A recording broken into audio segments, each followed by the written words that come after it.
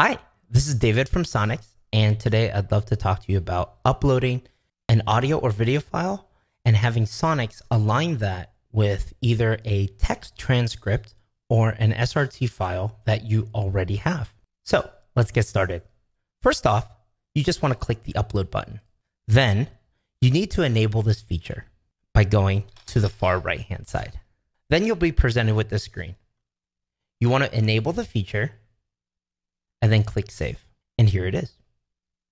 Simply click on SRT or existing transcript. This is an advanced feature. And then select your audio or video file here. Just use this one.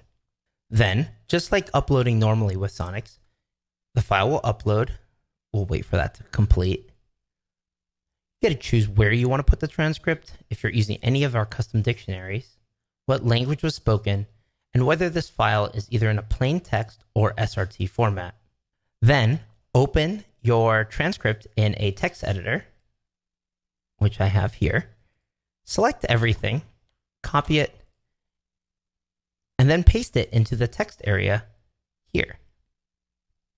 If you scroll up, you'll see that the file has finished uploading.